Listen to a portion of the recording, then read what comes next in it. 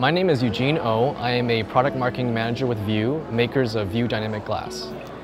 The Helmerich Center chose View Dynamic Glass to make the lobby space more comfortable for occupants, as well as protect the artwork in the hallways.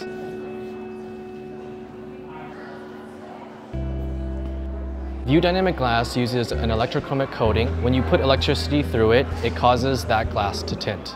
You can control it with a mobile device or automatically with how we calculate where the sun will hit the glass and it will tint for you.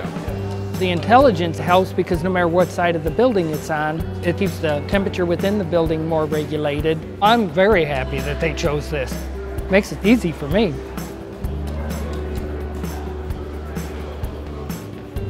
Would you want it in your building? Yeah? Why, do, why would you want it? Because if it was really sunny, it wouldn't burn your eyes. Yeah, that's true.